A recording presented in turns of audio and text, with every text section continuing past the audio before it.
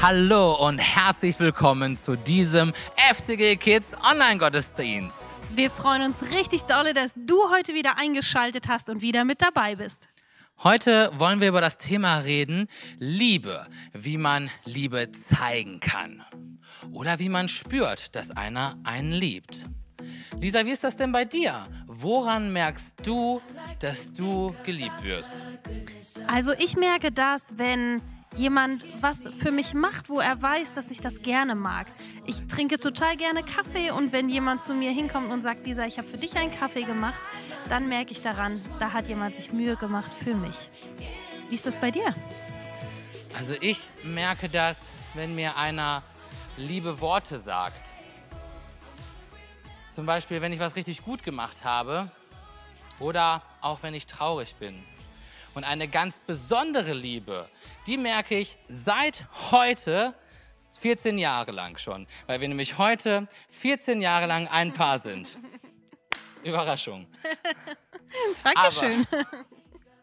Aber, aber äh, wir wollen mit euch noch über eine ganz besondere andere Liebe sprechen. Und dazu gibt es später auch noch eine Geschichte in der Bibel.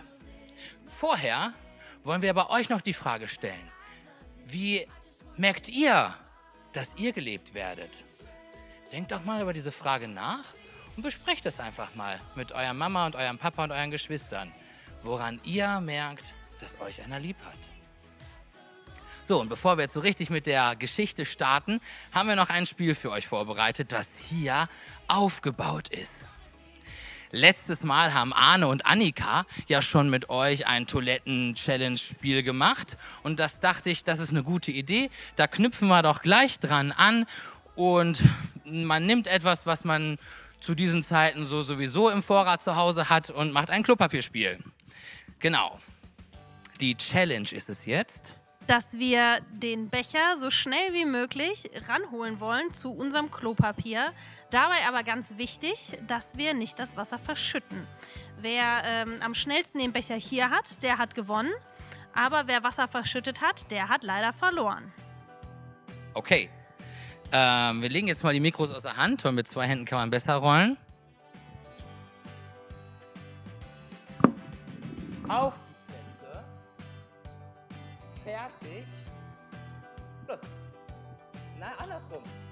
Ey, ey, ey. Nein!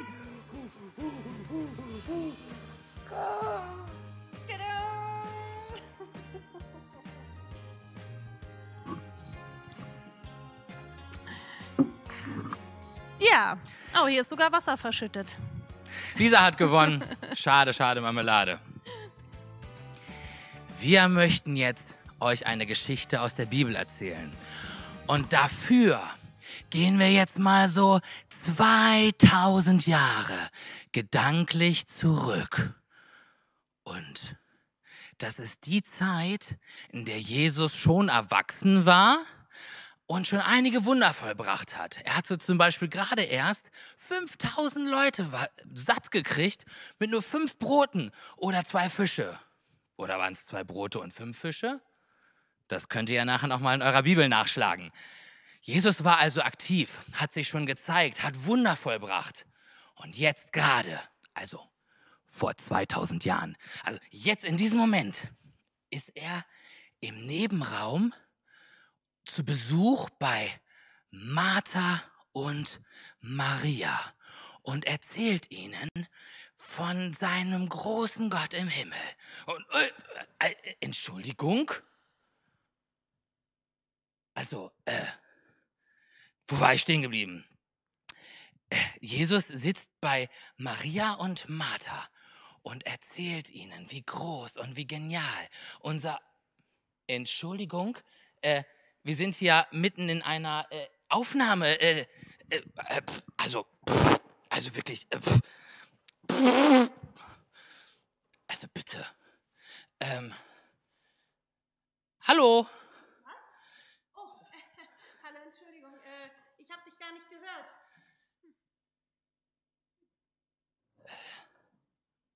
Komisch.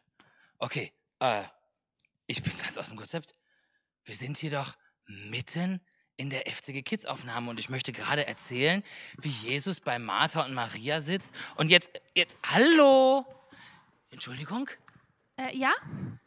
Wer bist du denn überhaupt? Ich? Äh, na, ich, ich bin doch Martha. Ich bin doch, ich, weißt du das denn nicht? Jesus ist in meinem Haus zu Besuch. Jesus, in meinem Haus. In meinem Haus? Oh nein, hier muss noch, oh, hier muss noch ganz viel geputzt werden. Ich bin überhaupt noch nicht fair. Ich weiß gar nicht, wo ich anfangen soll. Oh, es ist noch so viel zu tun. Das Wasser habe ich jetzt schon geholt und äh, Staub gewischt habe ich auch schon überall, wo es äh, wirklich dringend nötig war. Und äh, ja, jetzt muss ich noch fegen und dann muss ich aber noch kochen und Fenster putzen, äh, die Wäsche machen. Hast du denn keinen, der dir hilft? Ja, das wäre so gut, wenn ich jemanden hätte. Das habe ich nämlich auch gedacht. Meine Schwester Maria, weißt du, Jesus ist da und sie sitzt einfach nur da und hört ihm zu. Anstatt mir zu helfen. Du siehst ja, wie es hier aussieht. Es wäre so dringend nötig, dass, dass mir hier jemand hilft. Aber sie sitzt einfach da und hört Jesus zu. Ich finde das nicht in Ordnung. Ich werde jetzt einfach mal hingehen und werde einfach mal gucken, was Jesus dazu sagt.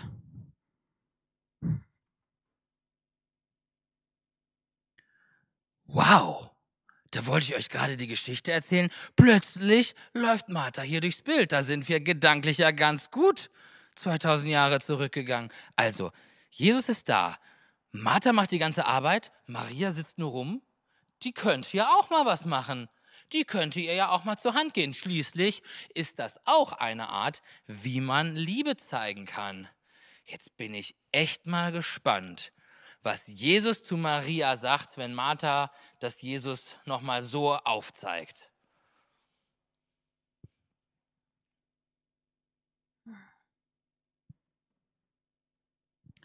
Jetzt bin ich zu Jesus hingegangen und habe ihm das gesagt und ich bin hingegangen und ich wollte gerne, dass Jesus zu Maria sagt, sie, sie soll mir helfen. Ich bin hingegangen und habe gesagt, dass, das ist doch Unrecht, dass nur ich hier die ganze Arbeit machen muss und sie einfach nur da sitzt und ihm zuhört. Und was, was hat er gesagt? Also was anderes, als ich erwartet hatte. Er hat zu mir gesagt, Martha, du kümmerst dich hier um alle Kleinigkeiten, aber Maria hat erkannt, worauf es wirklich ankommt. Und das möchte ich ihr nicht nehmen. Kleinigkeiten? Aber was hat Maria denn erkannt? Hm. Wahrscheinlich hat sie erkannt, dass es wichtiger ist, auf Jesus Worte zu hören und nicht nur darauf zu gucken, welche Arbeit noch zu tun ist. Hm aber den Haushalt machen, Essen besorgen, Trinken besorgen, alles sauber machen, das ist doch auch wichtig. Ja, aber wahrscheinlich ist es noch wichtiger, einfach nur auf das zu hören, was Jesus sagt, uns Zeit dafür zu nehmen, zuzuhören, was Jesus sagen möchte. Was machst du jetzt?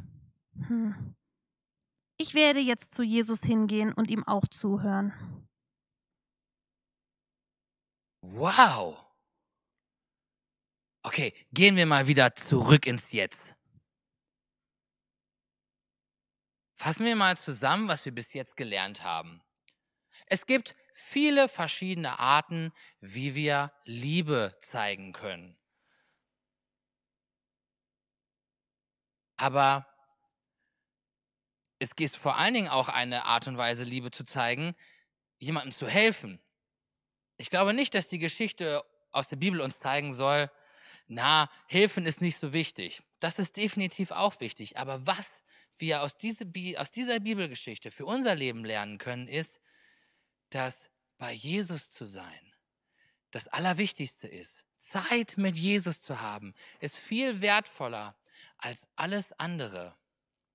Und Maria hat Jesus Zeit geschenkt.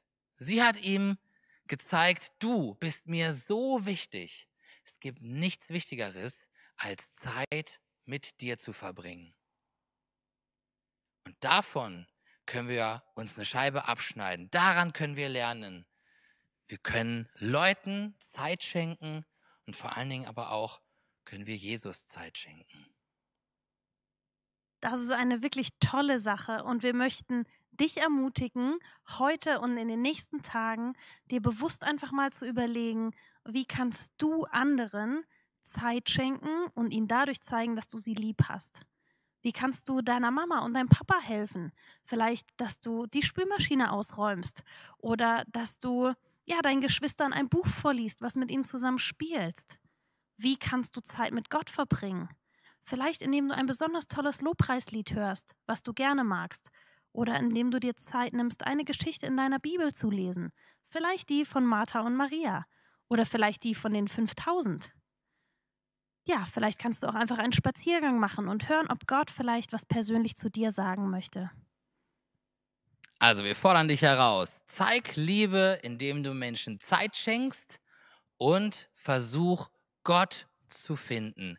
Versuch Zeit mit Gott zu haben und schenk Gott deine Zeit. Ich möchte noch mit uns beten. Wir falten die Hände, das ist dann super, dann können die keinen Quatsch machen.